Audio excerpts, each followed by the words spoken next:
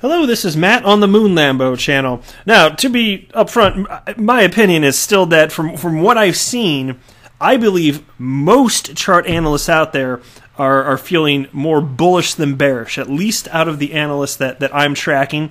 Uh, but uh, a couple, not so much. They, they say, hey, we're in a, a downward trend, some of them. Uh, there's a, an analyst today that's saying, hey, uh, XRP could potentially get down to 13 to 15 cents. Not, not that it would happen, and, and not even that uh, he thinks that's likely, but there are some potential negative outlooks. So um, I'm, I'm going to share those with you, but I still think it, it seems to me, again, most of the sentiment out there more on the positive side. Now, this video is about price. I do not have a financial background. I don't make price predictions. Don't buy or sell anything uh, because of anything included in this video or anything that I say, anything I write, nothing like that. Uh, this video, I, I, create stuff like this because I'm a member of the XRP community. I think it's fun to track what analysts uh, think in terms of price action. And, and for me, technical analysis is interesting when it's not just about um, not just about price predictions, but about probability of outcomes because that's what seems to make a lot more sense to me right now. But anyway, before going any further, if you would please delicately tap that like button, and if you are a fan of Ripple and XRP, go ahead and subscribe to the Moon Lambo channel because if you do, maybe we can become friends. Perhaps even best friends. So the market cap for the asset class now 234 billion, Bitcoin's at 8,606, XRP at the time of recording down to 23.1 cents and uh, not too much activity over the last 24 hours until maybe the last hour or so. It's dropped, you know, three tenths of a penny. XRP has, and Bitcoin's gone down, yeah, a little bit. What is that? A couple hundred or something like that? I don't know, somewhere in that neighborhood. Anyway, so here's here's the first analysis. This is from uh, Denys Serhiichuk. He is a uh, analyst with crypto media outlet U.Today. He's got his XRP price predictions. That's how he labels this every day. So here we go. XRP is trading without significant changes. After a rebound from the support level, quotes have remained sideways. Even though XRP has continued a sideways trading trend for a few days, it will face a decline shortly. Uh, the rate of the coin has decreased by almost 2% over the last day. What is more, the MACD indicator has just switched to a bearish trend. Summing up, the more likely scenario is a drop to the closest support of 23 cents. And then he writes XRP is trading at 23.4 cents at press time. And so this was a little bit earlier today. Let me see if they have a timestamp on this. Uh, they normally do. Eh, maybe not. Well, okay, it, it was it was a little bit earlier today, within the last I want to say several hours or so. And so uh, we'll see if XRP stays where it was, but uh, he may have been spot on right there because XRP is basically, uh, I mean, it's pretty close to that 23 cent mark he was saying. So, you know, we'll see. We'll keep dragging it.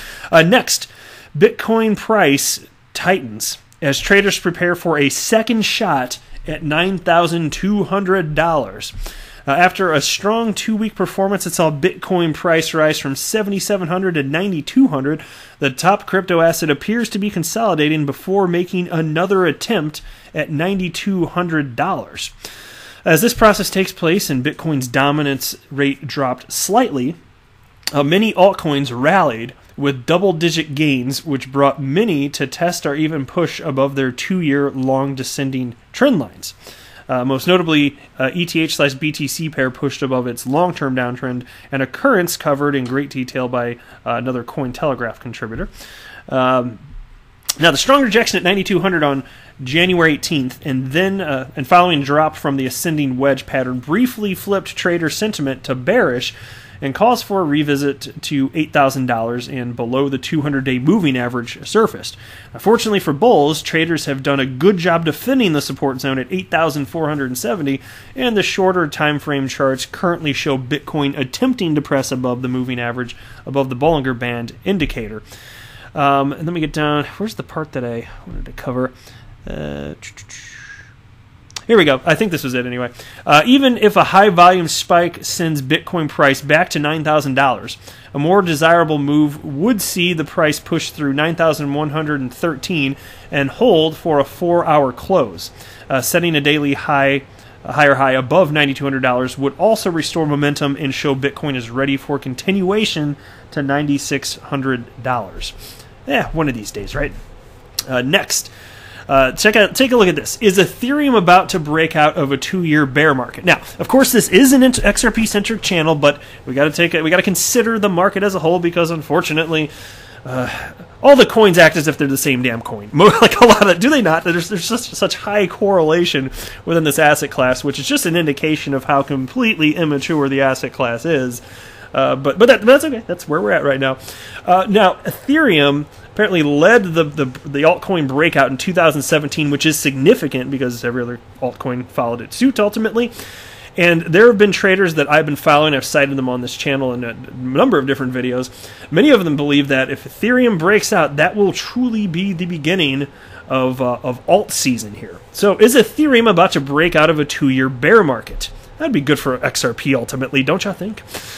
Since the beginning of 2020, Ethereum has outperformed Bitcoin. In just three weeks, the world's second most popular crypto asset has surged 33%, while its big brother has made just over 20%. Since the weekend's minor pullback, Ethereum prices have been building slowly higher, reaching $170 a few hours ago and holding there. The next major resistance point is just above $180, where the 200 day moving average sits, and beyond that is the psychological $200 barrier.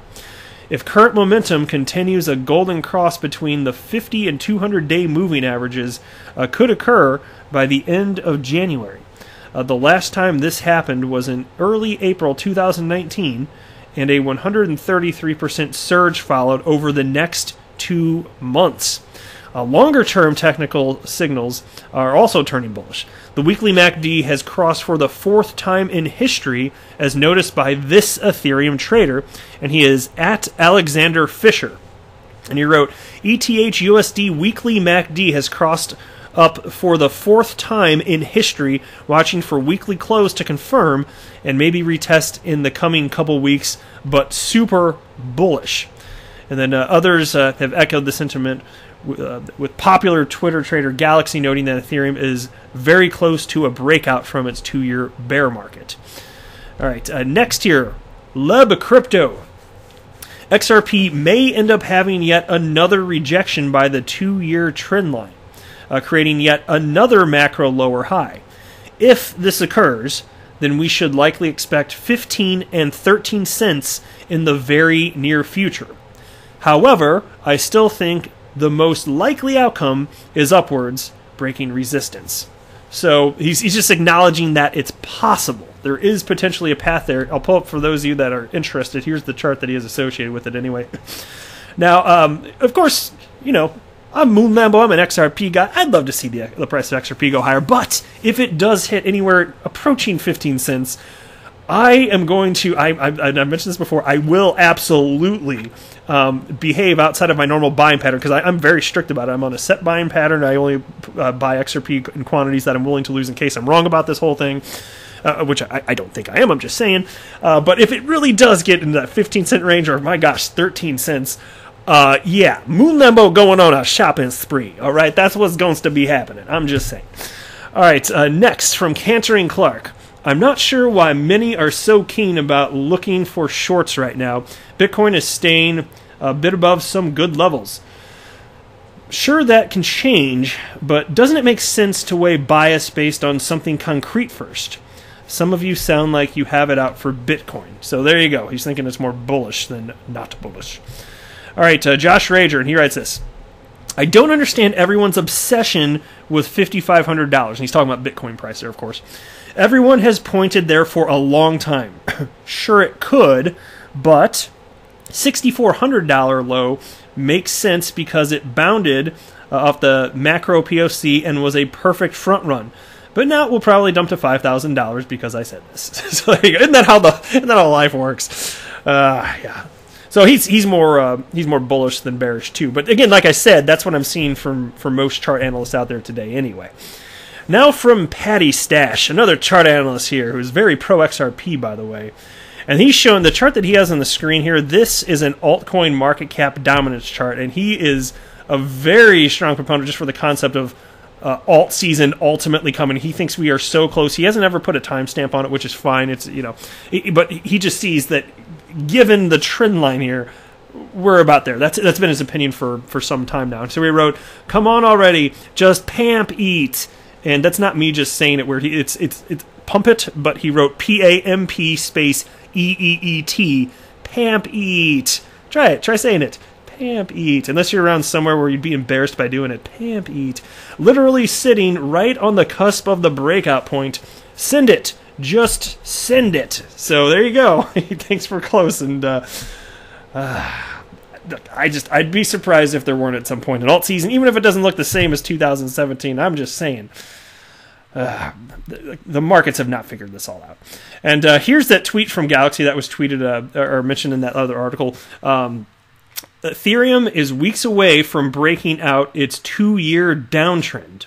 Uh, possible bull signal incoming next week. February is takeoff month. Uh, let's see if that comes to pass because, like I keep saying, and, and so many people, the reason I keep point, pointing this out on this channel is because it's been made clear to me by multiple uh, technical analysts that this really could be, perhaps um, some say most most aren't saying definitively, but many believe it's quite possible that if Ethereum takes off, this is really going to do things for the market. And even for me as an XRP holder, it's all tethered together. I'm happy to track this and watch and just see what happens because I don't know, but it's interesting. All right, uh, last here. This is from chart analyst Wooston. My dear friends, short history, in parentheses he writes, no news. If Bitcoin falls, so will XRP and Ethereum. The bulls will lose the chance to break out the wedge. XRP and Ethereum in the same scenario. One bullish alternative against two bearish alternatives. Even so, it doesn't mean a bull break can't happen. And there you go, acknowledgement of correlation. so, I know, breaking news, right? But uh, anyway, that's it for this video. Thank you for stopping by. I am not a financial advisor. Do not buy or sell anything because of anything that I say or write. That would be a very, very, very bad idea. Until next time, to the moon, Lambo!